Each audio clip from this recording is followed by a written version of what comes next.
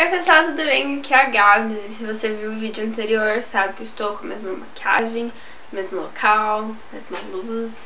Mas acontece que tá muito calor e eu não aguentei ficar naquela blusa sem cabelo preso então coloquei aqui uma roupa mais fresquinha, prendi meu cabelo porque, gente, tá muito quente. Enfim, outra, olha aqui e as alergias começando. O vídeo de hoje é para falar sobre metas, como fazer suas metas. Eu vou fazer uma retrospectiva das minhas metas aqui para ver o que, que eu atingi e o que, que eu não atingi.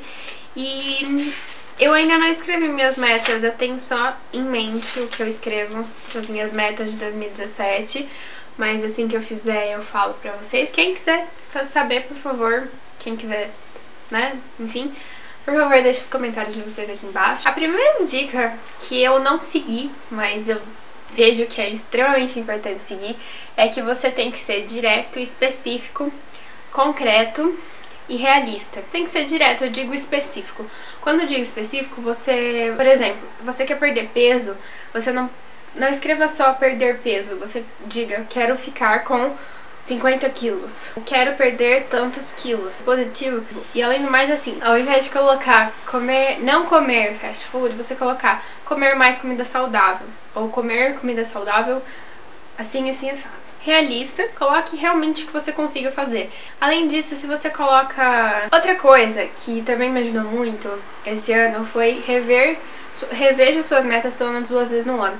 Então, na agenda, eu coloquei lá pra setembro, agosto, eu escrevi minhas metas de novo. E além do mais, como eu uso tanto a agenda quanto o bullet journal, que eu já ensinei aqui pra vocês, se você rever isso, você lembra do que você fez, você escreveu no começo do ano, você tá reamadurecendo as suas ideias, você às vezes tá mudando alguma coisa ao longo do ano, no meio do ano, e é uma boa coisa pra você conseguir ter os seus objetivos do ano em mente, concretos e sempre ali atualizados. A terceira coisa que eu vou fazer junto com vocês é fazer uma auto-reflexão no final do ano. Eu acho que todo mundo faz isso, mas é realmente ver o porquê que cada coisa aconteceu ou não aconteceu. E não é arrumar desculpinha. A quarta coisa é você deixar margem para modificação ou alteração com as dificuldades que você vai tendo ao longo do ano, bem como uma submeta, ou metas alternativas. Então, se não der tal coisa, você faz tal coisa. Às vezes você vai, você quer um estágio, mas você não conseguiu um estágio porque outras coisas aconteceram ao longo do ano que não te permitiram ter um estágio. Então, mas você pode tentar escrever um artigo, que seria uma coisa equivalente, um estágio no âmbito da faculdade. Não é equivalente, mas é uma certa experiência. Então, é uma meta alternativa que você está criando ou uma modificação. Em vez de você colocar quero conseguir um estágio até setembro, até abril, você coloca eu quero conseguir um estágio até outubro. Então você consegue modificar a sua meta. E a sua meta, às vezes você quer ser mais saudável, mas você quer também praticar exercício físico e quer perder. É, você quer ficar com 50 quilos, quer correr, aprender a correr melhor, começar a correr.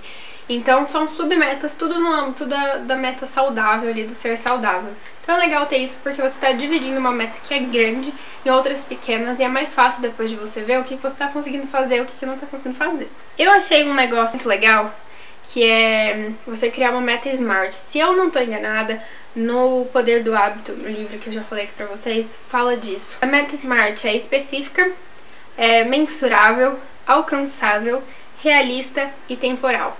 Temporal é no sentido que em determinado período, ou seja, pelo menos em um ano, no máximo em um ano, você vai conseguir realizar aquela meta. Realística, como eu já disse, e alcançável, mensurável, você consegue determinar exatamente qual é a sua meta, mas é, você não estabelecer meta, você está deixando o... Isso eu li em algum lugar também, que eu não lembro onde, é você tá deixando o controle da sua vida na, vida na mão de outro. E você deixando o controle da sua vida, o que você quer fazer com a sua vida na mão do outro, você além de estar tá se ausentando da responsabilidade de cuidar da sua própria vida, você fica, você deixa de ser, você fica menos feliz, você não tem tanta gratidão pelas coisas que acontecem. Então você tem o controle da sua vida. Então essa é outra justificativa, outro fundamento para quem tá me assistindo para criar metas. Eu sempre dou uns três por ano, então esse é o do ano. Vamos fazer agora aquela minha auto-reflexão? Vamos lá. A primeira meta que eu escrevi foi amar sempre. E Claro que eu amei muito em 2016, eu sempre procurei trazer mais amor a, a tudo que eu faço, mas é uma coisa, e eu digo que eu realizei isso, mas como vocês podem ver, não é uma coisa muito mensurável e muito objetiva. Estudar e aprender muito é a mesma coisa, mas eu estudei e aprendi muito esse ano. Eu fiz a faculdade, foi uma, uma experiência incrível nesse segundo ano. Quem quiser vídeo de como foi meus dois primeiros anos da faculdade de Direito, por favor, deixe nos comentários. Eu quero muito poder ajudar vocês com essa fase de escolha de faculdade. É, a terceira foi conseguir um estágio, mas eu não consegui um estágio por circunstâncias alheias à minha vontade. Foram por outras decisões, então eu realmente não fui atrás de estágio por diversos motivos, então eu não alcancei essa meta. Dedicação e comprometimento 100%. Eu posso dizer que eu não fiz isso porque, como eu digo, como eu disse, além de não ser mensurável e você fazendo essa autoavaliação, não tendo objetivos claros, você fica tipo, poxa, não fiz nada esse ano. A quinta foi ter calma, paciência e generosidade.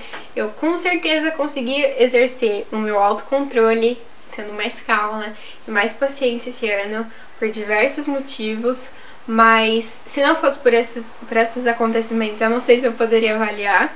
E de generosidade eu espero ter sido, mas como eu disse, eu, no fim eu queria ser mais humana esse ano, eu, espero ter sido, mas é uma coisa que eu não consigo mensurar exatamente, porque são coisas mais humanas, não são objetivos específicos e objetivos, enfim.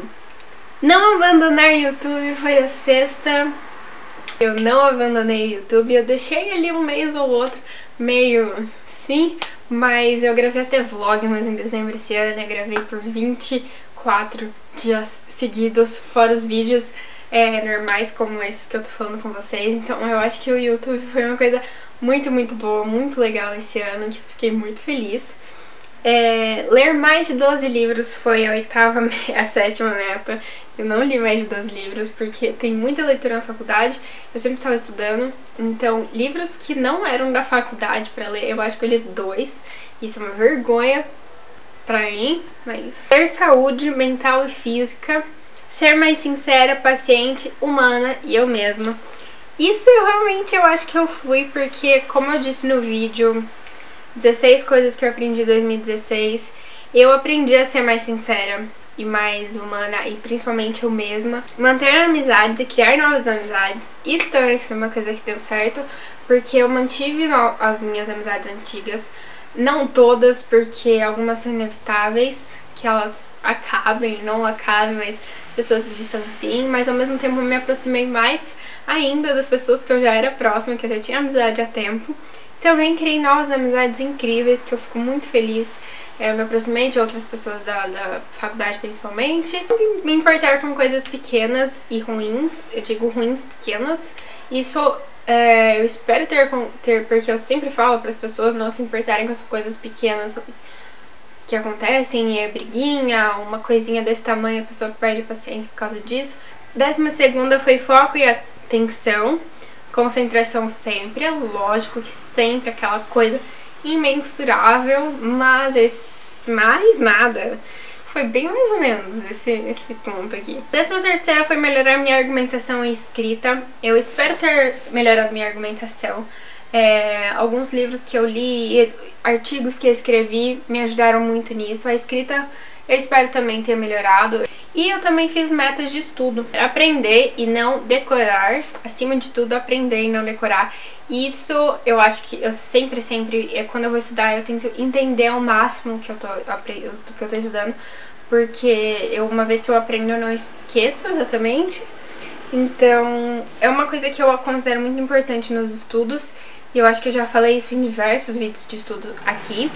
E algumas coisas, lógico, que a gente acaba decorando por estilo de professor, enfim.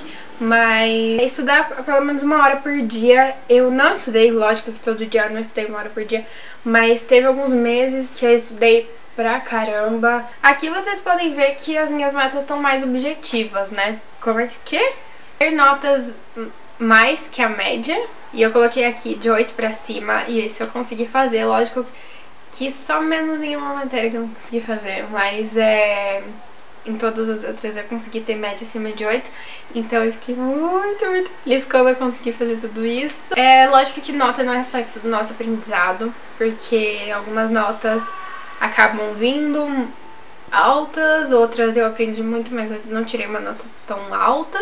Sempre fazer o meu melhor, eu acho que eu fiz no âmbito da faculdade, sempre eu tentei fazer o meu melhor em tudo. Sempre pensar fora da caixinha, seja ficar presa à letra das coisas, às ao que está escrito, pensar além, entender o que, que o autor está dizendo. Sempre perguntar, fazer perguntas e entender o porquê das coisas, o porquê que existe determinada coisa, porquê que a tal coisa é, funciona daquele jeito. Isso com certeza eu fiz porque eu fiz muitas perguntas, eu entendi, eu sempre procurei entender o porquê do que eu estava estudando. Enfim, eu espero que vocês tenham gostado desse vídeo. Se eu ajudei vocês de alguma forma, não se esqueça de clicar no joinha, se inscrever aqui no canal e deixar seu comentário aqui embaixo. É, espero que vocês tenham gostado da minha retrospectiva do ano aqui, revendo as minhas metas. Quem quiser vídeo de metas 2017, por favor, deixa nos comentários que vocês querem, ou um comenta, todo mundo curte. Isso aí, um ótimo ano pra vocês, um beijão e até o próximo vídeo. 20 minutos, gente, 20 minutos, preciso falar sobre